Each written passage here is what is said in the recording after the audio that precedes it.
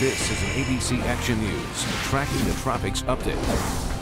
I'm meteorologist Shay Ryan with the uh, Tracking the Tropics update. As we're looking at the satellite and radar composite, we do continue to have an onshore flow, uh, bringing us plenty of rainfall over the next several days, but this is not tropical in nature. So again, there is no expected development in the tropics, not only across the Gulf and Caribbean, but across the Atlantic over the next five days. Of course, we'll be monitoring it, and if anything changes, we will let you know right away.